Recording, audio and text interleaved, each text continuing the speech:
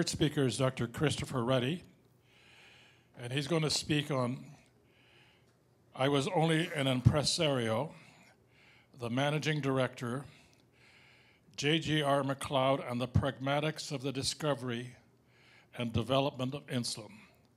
Christopher Rutty. Thank you, John. Great to be here and great to see this all kind of come together.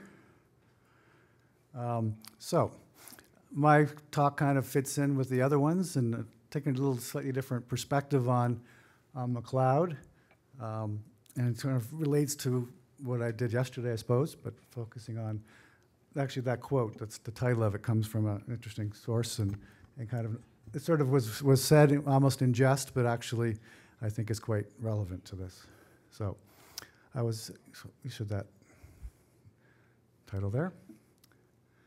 All right, so uh, as you might have been, if you were here yesterday, probably saw this. You might have seen this already before, but I, I'm, gonna, I'm going to play the, uh, the uh, Heritage Minute again, but also kind of go in a different direction from it.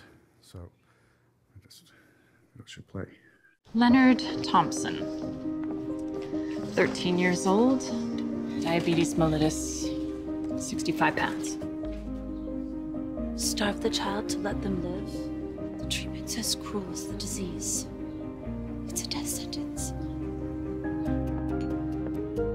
Dr. Banting. This could be it.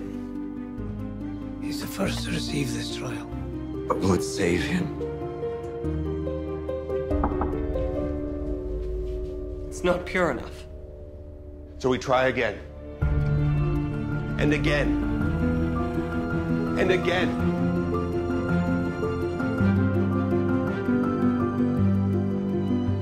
Before the discovery of insulin, diabetes was a death sentence.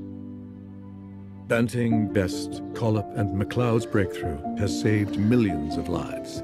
Leonard Thompson's was the first. Oh, sorry. As I mentioned yesterday, I was uh, a historical consultant on that project with Alison Lee and Grant Maltman of Banting House in London. And uh, so that's the whole story where I could talk about that specifically, but I won't. I just want to highlight the actor that played Macleod. A key point of the, exercise of doing the Heritage Minute was not just to repeat or emphasize the Banting Best myth and that kind of thing, but actually to make sure, and sort of uh, channeling my inner Michael Bliss, to uh, make sure all four are well recognized, if not named, um, in the piece. And, and, we also struggled around the, uh, do we mention the patent? Do we mention the Nobel Prize? And if we did, how do we do that properly? And so we ended up making sure that the tagline at the end highlighted the four people. That was made the best sense. So anyway, but uh, on January 18th, almost exactly one year after the seminal events depicted in this Heritage Minute, Professor John J.R. Macleod wrote a revealing personal letter the letter was, to, uh, was dated January 18th. The letter was to Dr. John G. Fitzgerald, director of the University of Toronto's Connaught Laboratories. And here's the letter, which isn't, isn't hasn't been digitized. It isn't online per se. It's, I've got it from the actual files. So um, Macleod wrote, and at the time, uh, uh, Fitzgerald was on sabbatical himself in, in, California for a year. So, but he very much in, in connected with everything.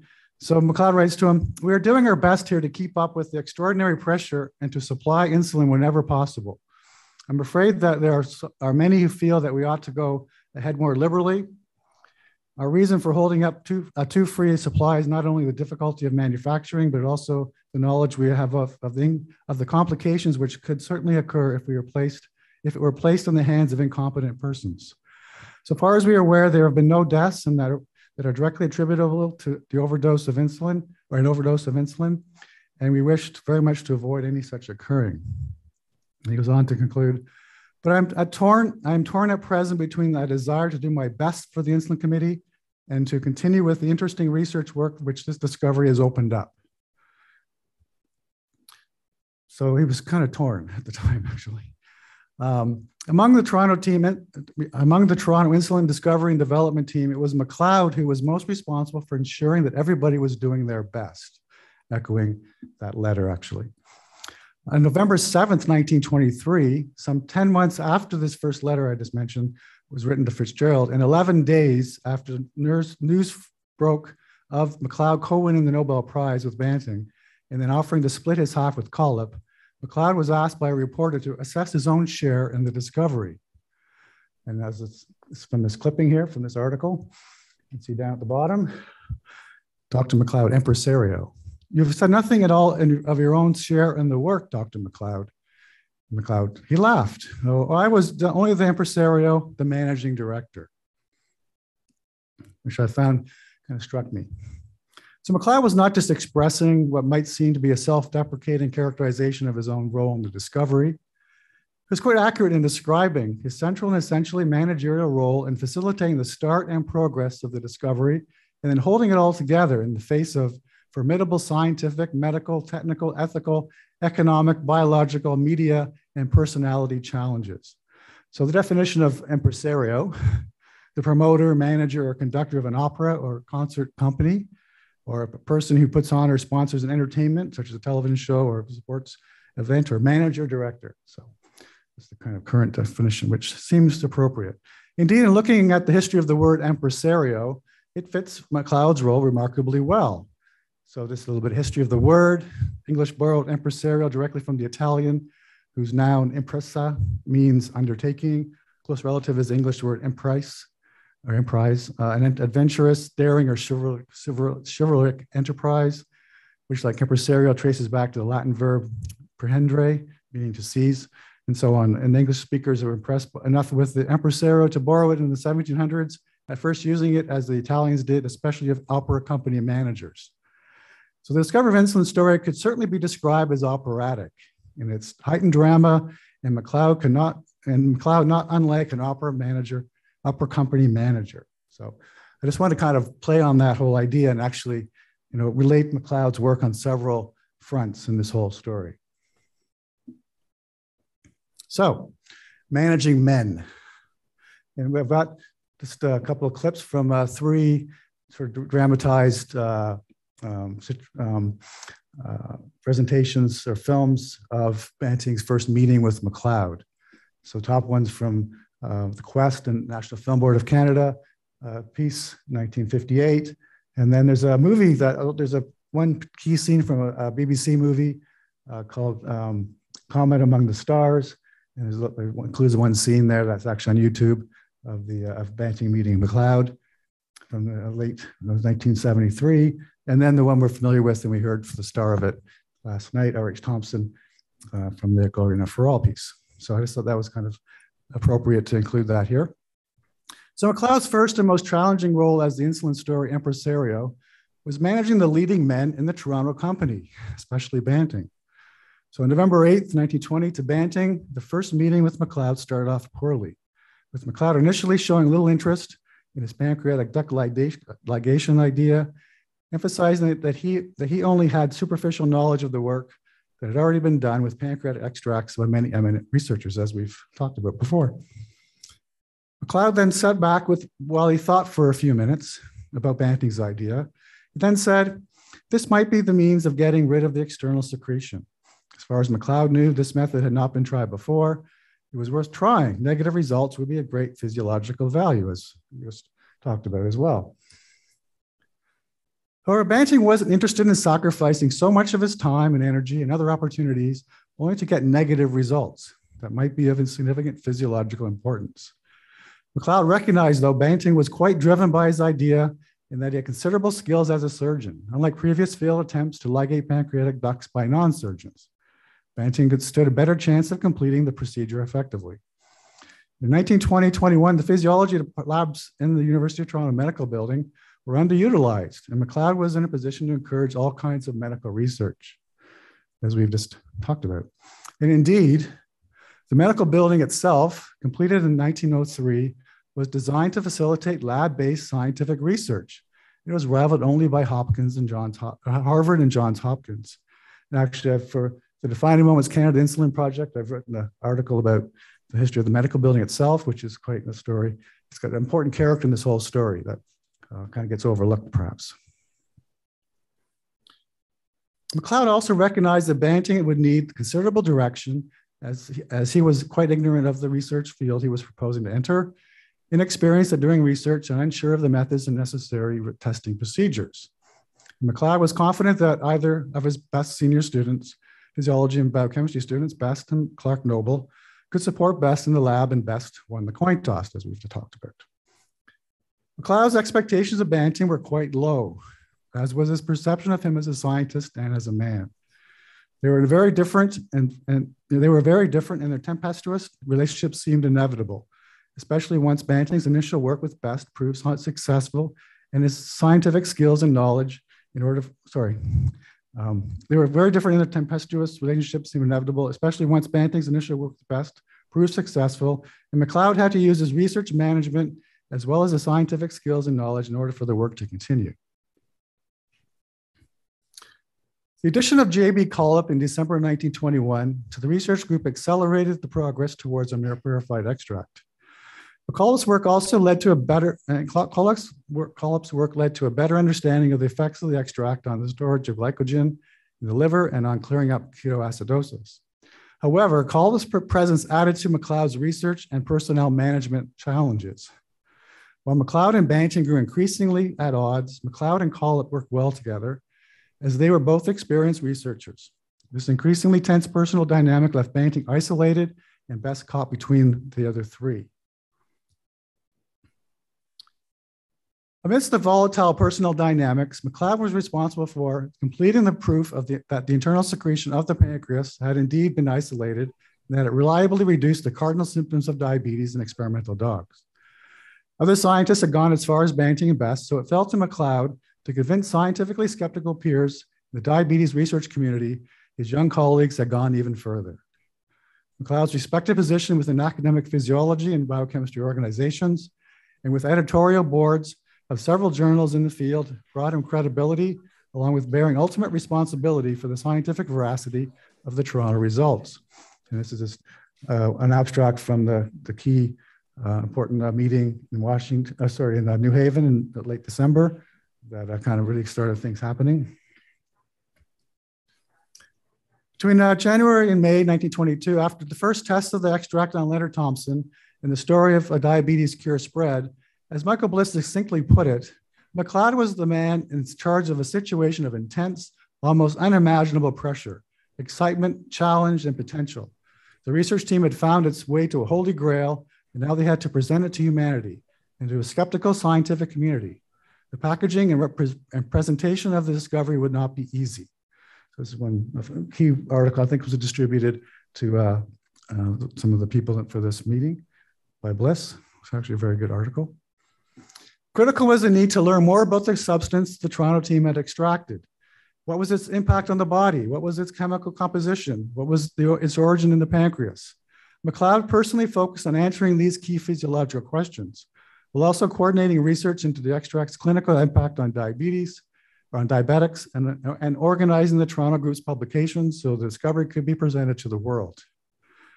Meanwhile, overseen by Macleod, Collip and Best focused on the complex challenges of producing the extract at a larger scale at UFT's Connaught Labs, as I talked about yesterday. And the a, a key thing is it was in the basement of the medical building, so this was not just some lab over elsewhere in town. This was at the heart of the story while Banting focused on its clinical evaluation. A more difficult challenge, especially for Macleod, was managing public understanding of and expectations about the, the Toronto discovery in newspapers. So uh, it's actually part of the Defining Moments project. I did a lot of sort of uh, research into the newspaper coverage, which was actually limited in many ways. It took a while for it to actually get out as big as we sort of assume it might have. Reports of new or surefire, cure, surefire cures were all too common. Thus, the natural hesitance among the Toronto team, especially initially, to engage with reporters. Macleod was particularly sensitive to inadvertently adding to misleading and potentially harmful newspaper reporting about their diabetes extract work amidst a clutter of miracle cure articles and patent medicine advertisements. Uh, and this, is actually one of the first reports of the Toronto work, uh, just after the first uh, Leonard Thompson. And you can kind of see in this how this uh, was described. Um, it was a surprise to Professor J.J. R. Macleod um, to be, uh, hang on, actually, I'll just read the last part of it. Professor Macleod did not deny the statement, but warned the interrogator that the information was exaggerated and the harm that it would do to the, arouse false hope in the thousands of people who are suffering from this dread disease. So he's, Macleod was actually the first point of contact at this point in terms of the press, really in terms of, of having some sort of control over things. Although it was very difficult to handle that. As I said, uh, Macleod was the primary focus of initial media interest in the discovery, and then attention shifted to Banting. In August and September, as the incident story spread in North America and beyond, especially about the dramatic use in, in prominent cases such as Elizabeth Hughes, media management became even more difficult.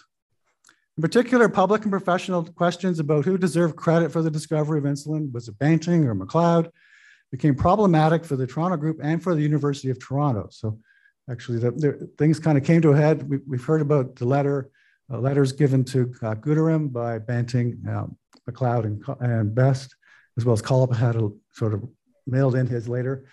But that, that came out of this controversy as, as the kind of sparked by uh, interest in from the British side in the story as the um, University of Toronto offered the patent to the um, UK Medical Research Council.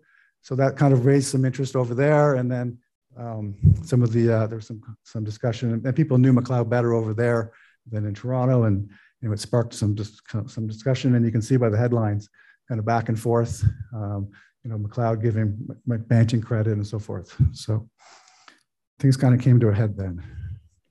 In the midst of all this, as Bliss emphasized, Macleod had to hold together a team of researchers who had literally clawed at each other's throats, while also protect himself from Banting's bitter, malicious attacks on his integrity as a scientist and a man. Nevertheless, as, as, nevertheless, this was Macleod's finest hour. He employed all of his experience and skills as a scientist, an administrator, and a wise human being to keep, all, keep the lid on a tremendously volatile situation keep the work going steadily forward, organize insulin production and research, and generally carry on the elaboration of the discovery in such a way that, as, that the world of science and diabetes quickly realized that Macleod's physiology lab at Toronto was giving it a very important, very precious gift. Well, Macleod was at his best, oh, sorry, with Macleod as its first secretary, the U of T, through its board of governors, assumed control over the management of insulin especially policies of patents and licensing, as well as standardization and testing through an insulin committee, which first met formally on August 17th, 1922. So that's behind there is the first meeting. Although Macleod's not wasn't actually there, there was a acting secretary, and Dr. DeFries, but uh, Macleod was the first secretary for a while. The, by October, the committee assumed a more pro proactive approach to the public media, particularly in response to developments with insulin patents responsibility for which was given to U of T by Banting, Best, and Collip as a public trust. Macleod led this process so as to prevent commercial exploitation of the product and to safeguard the production of a standardized product. On October 21st, following a reporter's uh, interview with committee member Dun Dr. Duncan Graham of the Toronto General Hospital, Vincent Committee, through Macleod as a secretary, issued an authoritative statement to the Toronto press in response to a set of specific questions including the assigning of patent rights to U of T. So this kind of summarizes the, the meeting minutes of the insulin committee are really quite quite useful. Uh, they're all online now, so um, it's quite a great resource if you haven't looked at it. So managing manufacturers. So between January 22nd and January 1922 and July 1923, perhaps the most challenging responsibility Macleod faced as the insulin impresario was the management of manufacturers, especially the unique one-year partnership between UFT and Connaught and Eli Lilly of Indianapolis, which began in June 1922.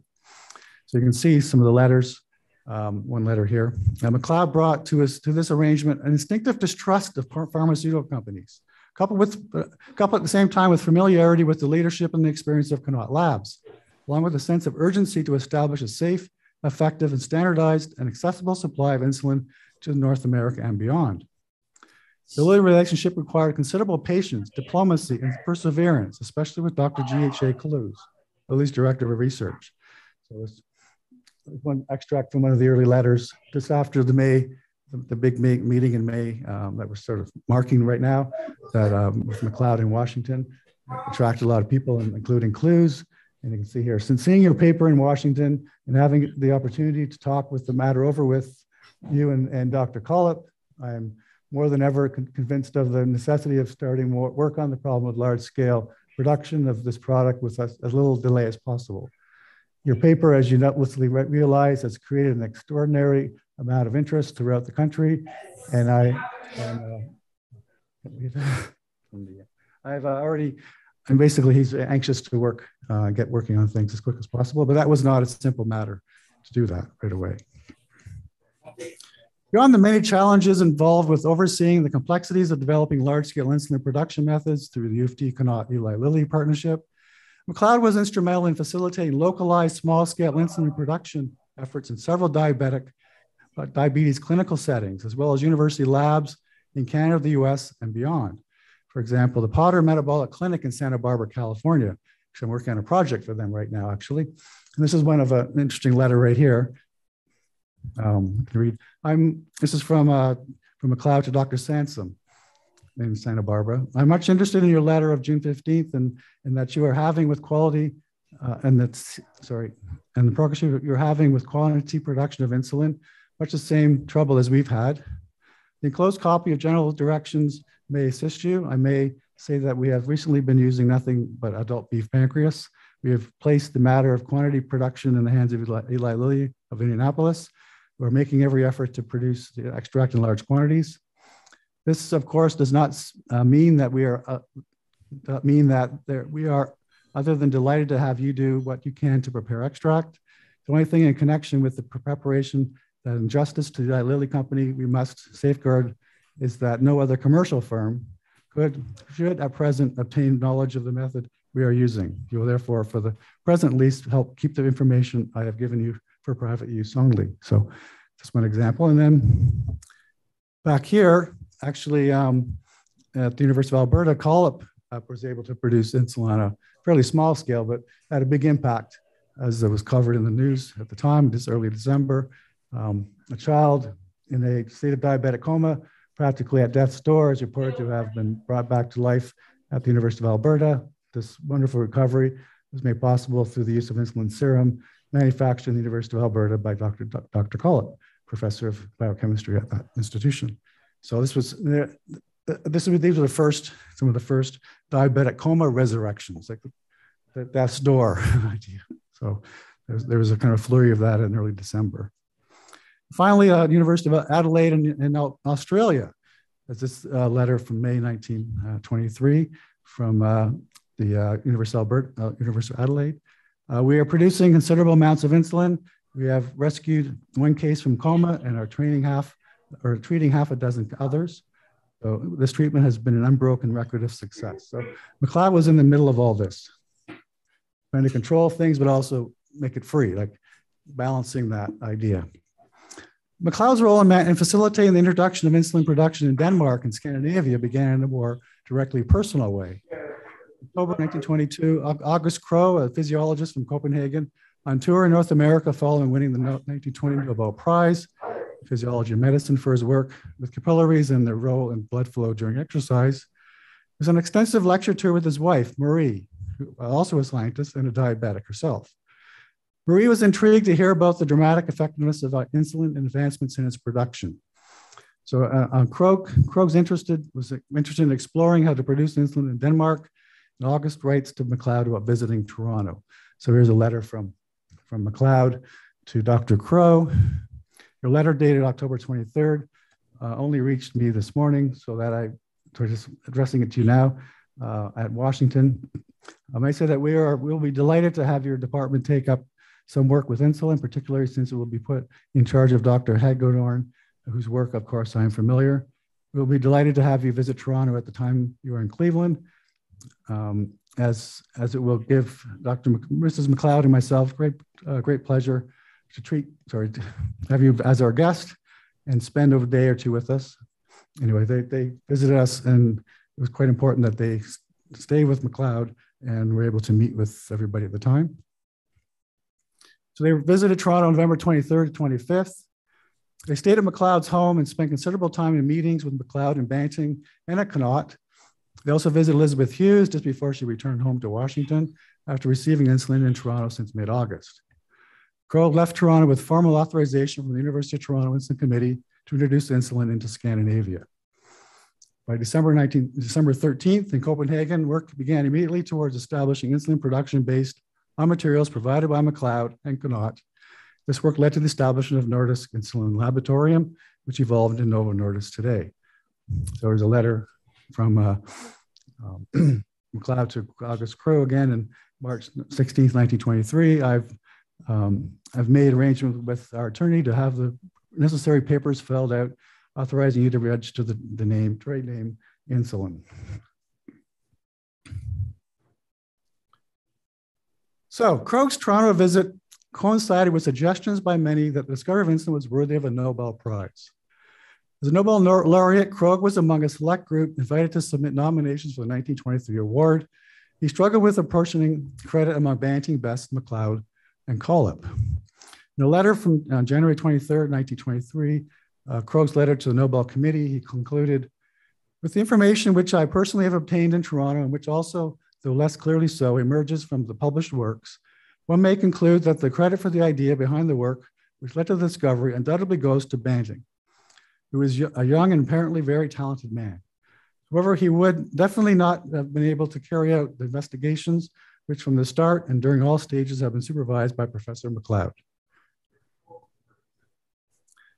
On January 18, 1923, Krogh's Nobel Prize nomination letter was submitted to at about the same time as Macleod had sent his personal letter to Dr. Fitzgerald, I mentioned before. Highlighting at the start of this presentation, Macleod ended that letter by saying, I am torn at present between a desire to do my best for the Insulin Committee and to continue the, with the interesting research work the Discovery has opened up. My teaching and my college administration work have, however, suffered grievously. January 15th, 1924, almost exactly a year later, Macleod wrote to Krogh. Some time has elapsed since I received your interesting letter, but I suppose by this time the executive secretary of the Insulin Committee Mr. Hutchinson will have replied to the business points which came up in it. I have found it necessary to give up all work in connection with the, this committee because it came to be far too time consuming and was beginning to interfere seriously with the, my research work.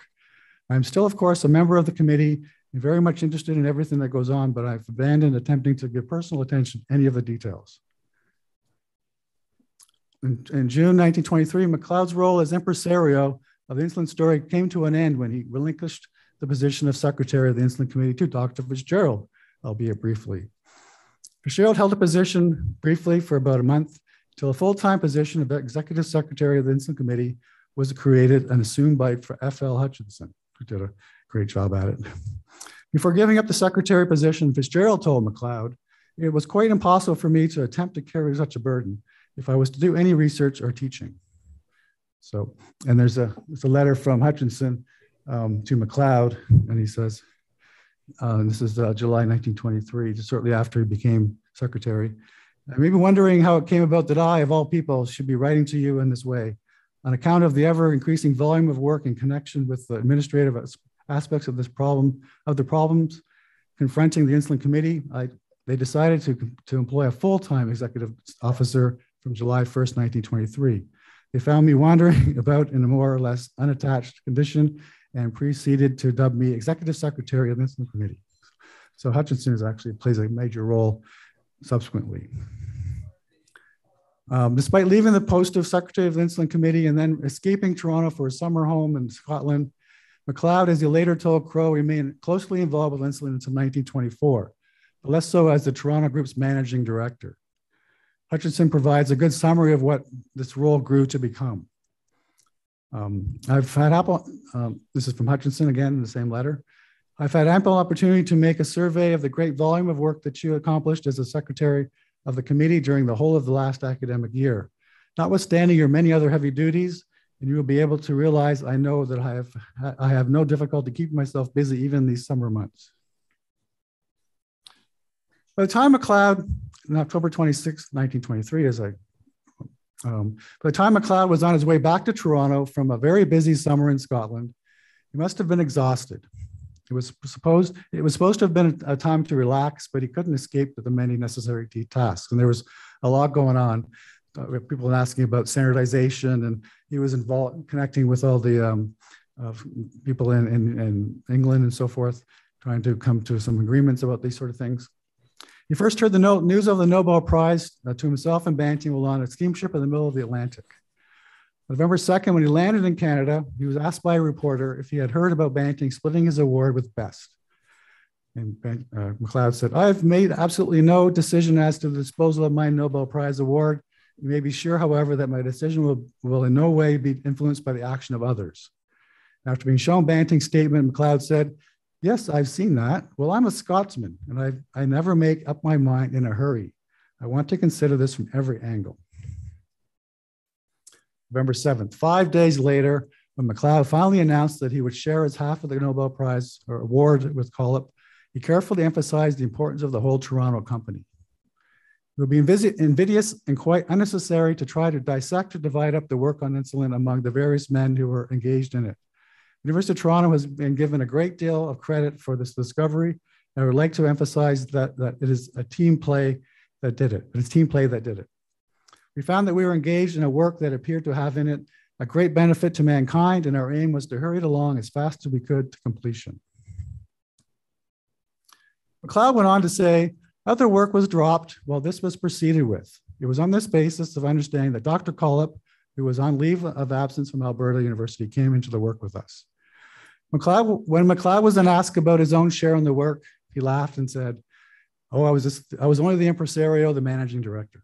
However, as Macleod knew, and as this presentation has explored, serving as the impresario in this operatic story was certainly not something to laugh at. Thank you.